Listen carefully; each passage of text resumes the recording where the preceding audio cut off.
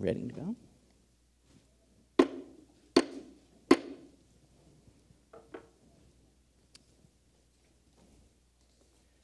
Good evening, and welcome to today's meeting of the Commonwealth Club of California, the place where you're in the know.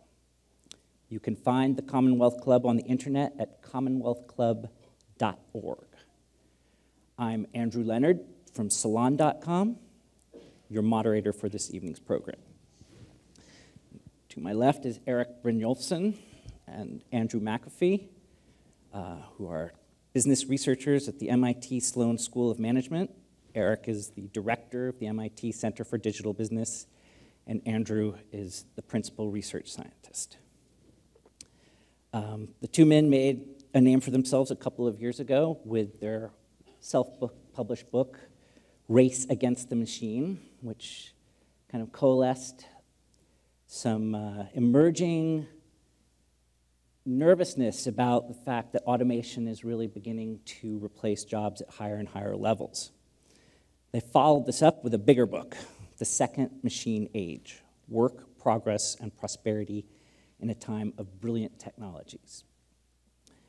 And it's really, uh, I think everybody in this room will understand how timely this is. Uh, in San Francisco and the greater Bay Area, there's a lot of tension about both how the tech economy is changing everybody's lives and, and you know, what, where we're headed from there. And the second machine age directly tackles uh, both the promise of technology and some potential challenges it poses. So I think both would like to start before questions with giving a, a brief kind of summary of their views. And um, that's, you know, what's the second machine age all about? Well, why don't I start and, uh, and say that the second machine age really got started from some confusion that both Andy and I had about what was going on in the world. On one hand, innovation has never been faster, but on the other hand, people have gotten more and more pessimistic about their futures and their children's futures. And reflects two different groups of people, two different tribes, really, that Andy and I interact with regularly. On one hand, there are technologists who are observing and, in fact, creating just wondrous new things uh, self driving cars and uh, machines you can talk to, and other amazing technologies. And they're almost infectiously optimistic about the potential of these technologies to transform the world. But we also spend a lot of time interacting with economists, and there's a reason they're called the, the dismal science. Um, I just came from a meeting in, in Philadelphia, of the American Economic Association meeting, and I was on a panel there with three other economists, and they were pointing out some pretty, pretty dismal statistics. Um, as you may know, um, median income, uh, the income of the person at the 50th percentile in America, is lower now than it was in the 1990s. And employment, of course, has been struggling as well. The employment to population ratio has plummeted. And while some of the unemployment numbers are a little bit better recently, that mostly reflects people dropping out of the labor force not uh, new jobs being created. And we were puzzled because we wanted to see how can you know, these two groups with these very different perspectives, are, is one right and was one wrong? Uh, how could these, these facts be, be simultaneously apparent? And in fact, if you look deeper, it, it is true that, that there are some, some really impressive numbers that match up with the uh, optimism of the technologist. Uh, overall wealth in the US economy just hit a record high, $77 trillion. We're at record levels of productivity. GDP is at record levels, profits at record levels. They're all, and all those numbers are growing quite steeply. But the, but the other statistics about median income and unemployment are also exactly accurate. And ultimately, um, as we were working on this book, we came to the conclusion that uh, it's possible for both these things to be happening simultaneously. Um, it reflects the fact that uh, technology does grow the economic pie, it does create more wealth. However, there's a sort of dirty secret of economics, and that is that there's simply no economic law that says everyone's going to benefit evenly from these technological advances. It's possible for some people to be made not just relatively worse off, but worse off in absolute terms. Now, in the first machine age, it was people like uh, buggy whip manufacturers that were hurt by the introduction of the automobile. But today, it could be a much larger group of people, tens of millions of people, even potentially a majority of people that are having a harder time making a living than they did before. And understanding the nature of these causes and consequences and the central role of technology in driving both the bounty and the spreading out of, of outcomes is what we wrote this book about and trying to understand the implications and, and, what it means for, for individuals, for corporations, and for, for society is what we're hoping to refocus the conversation on. Erik and I have spent our whole careers working at the intersection of technology and economics and doing research there. And as Erik says, we wrote this book because we got confused about both the economics and the technology. Erik has just described the economic paradox that was going on. Let me talk a little bit about the, the technology confusion that's going on.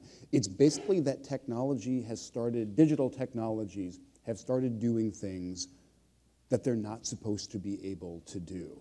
Uh, the, the book's genesis for me started in the fall of 2010 when I was over breakfast, opened up my computer and started browsing the New York Times website and came across a story about the fact that Google had been driving, well, not Google, had, no one had been driving cars. The company had developed these autonomous cars that had, at that point, already driven thousands of miles on American roads in traffic with no mishaps.